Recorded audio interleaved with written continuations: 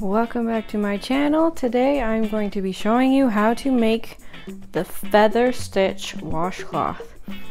To start you will need about 75 yards of some cotton yarn, a 5 millimeter hook, a tapestry needle, and some scissors. And if you would like, you may also use a stitch marker. The first step is to make your slip knot with your yarn.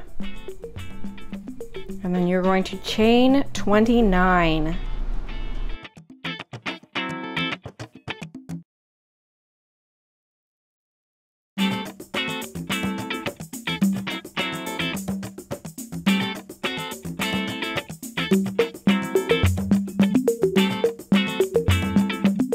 You have your chain you are going to do a half double crochet in the first stitch.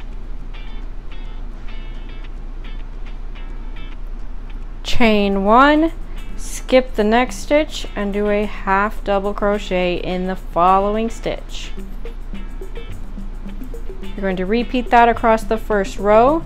So chain one skip a stitch half double crochet in the next stitch and repeat that to the end of the row.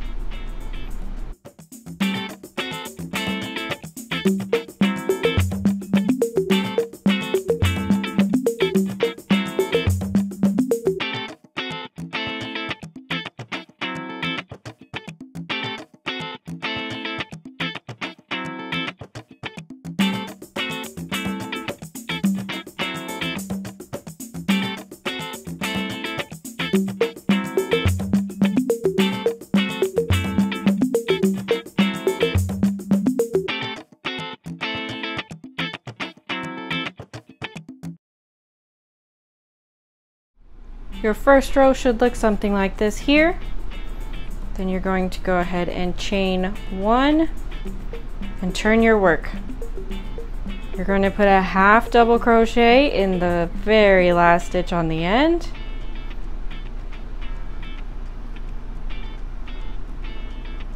You're not going to do a chain after this half double crochet. This is where you're going to start your feather stitches. So you're going to yarn over Insert your hook into the space made by that chain. Yarn over, pull through, yarn over. You're going to insert your hook into this chain, skipped chain space down here on your foundation chain.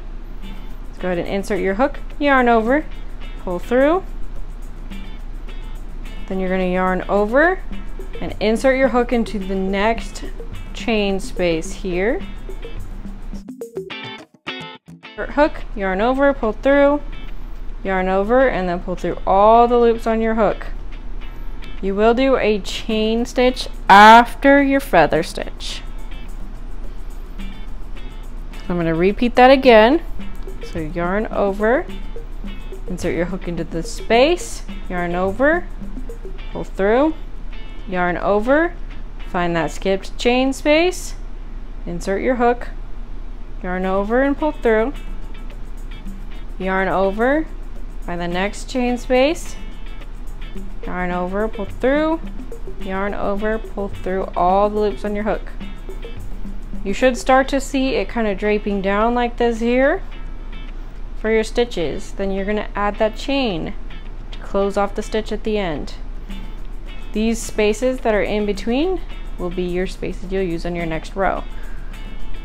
So we're going to do another feather stitch. So yarn over, insert your hook, yarn over, pull through, yarn over, find that skipped chain space, and insert your hook, yarn over and pull through, yarn over, find the next space, insert hook, yarn over, pull through, yarn over, pull through. And you'll repeat that to the end of your row.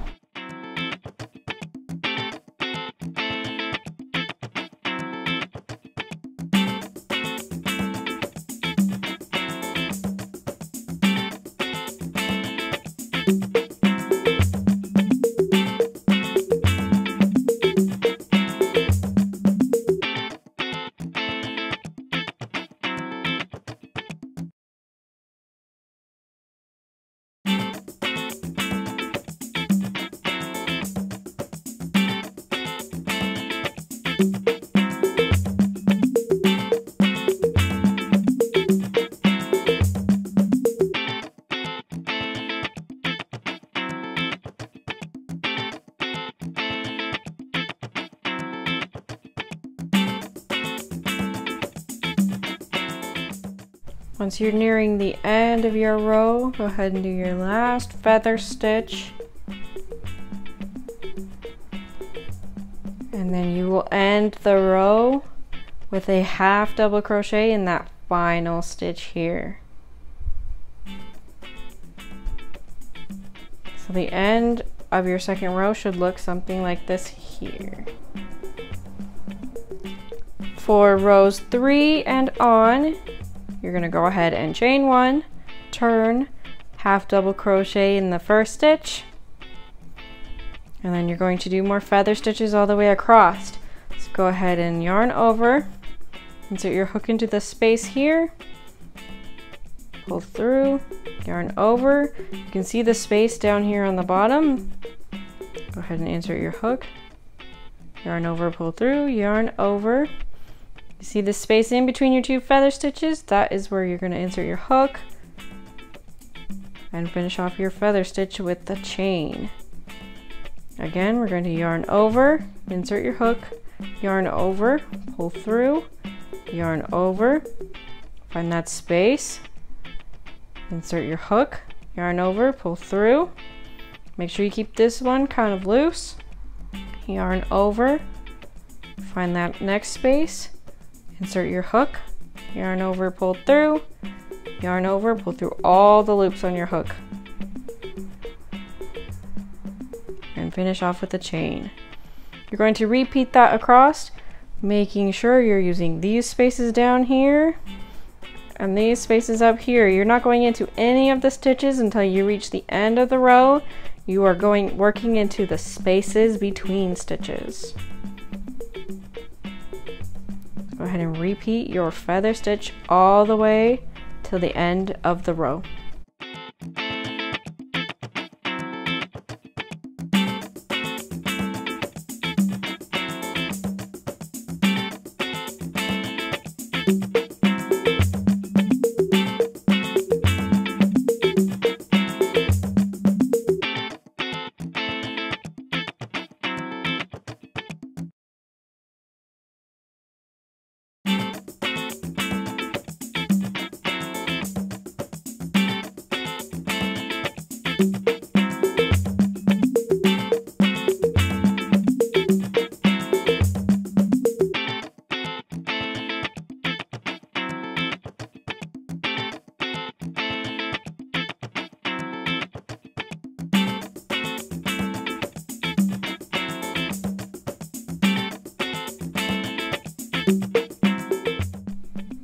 Just like the previous row, you will end this row with a half double crochet in that final stitch.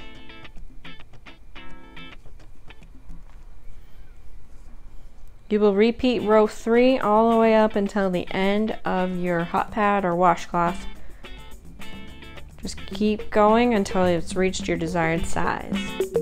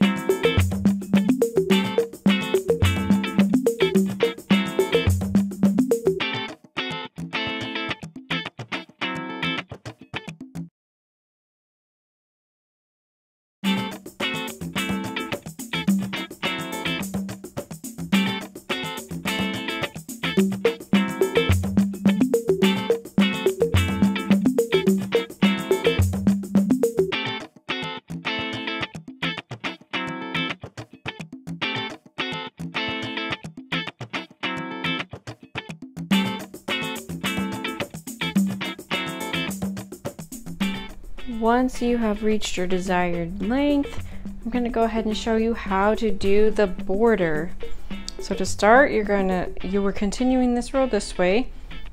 You're going to go ahead and do single, two single crochet here in the corner. And then you're going to single crochet all across the side here. You're just going to have to make up your own stitch, stitch places along the way go ahead and try and do an even number of single crochets all the way across this row.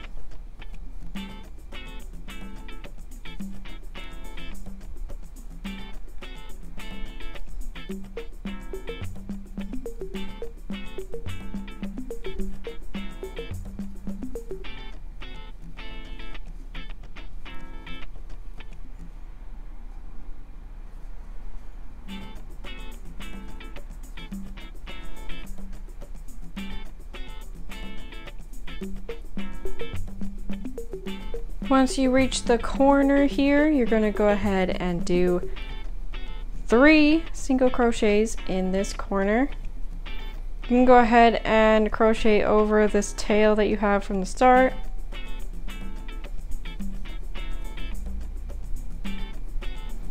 And then you're gonna do one single crochet all the way across the bottom in each stitch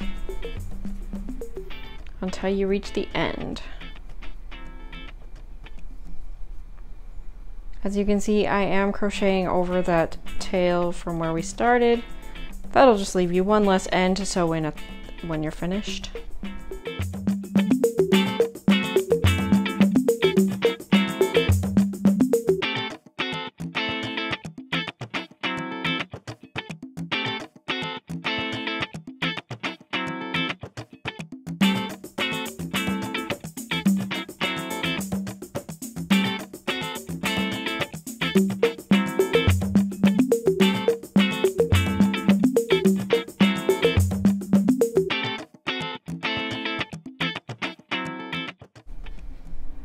Once you reach this corner, go ahead and do three single crochet in the corner. And then continue up the other side with one single crochet in each.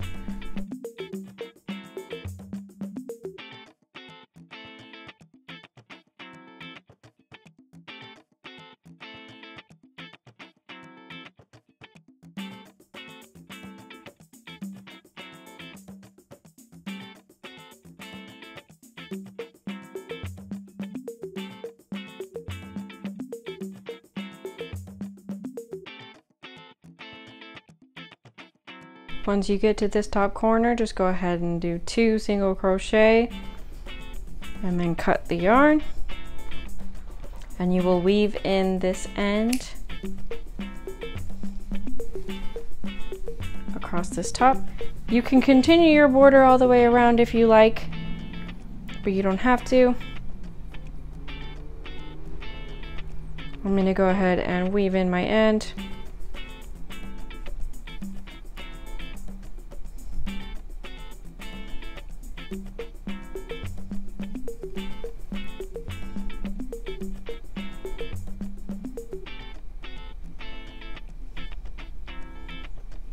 You want to make sure when you're weaving in your end that you go back and forth a few times in your stitches so that that end does not come out when washing your hot pad or your washcloth.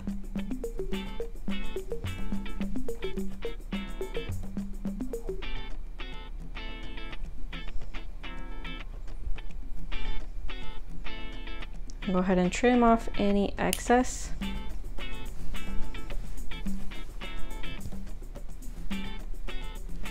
And there you have it.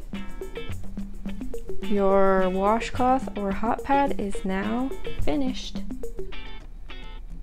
Thank you so much for Up the other side with one single crochet. For more each. content, go ahead and subscribe and hit that like button down below. Let me know in the comments what other tutorials you would like to see from me.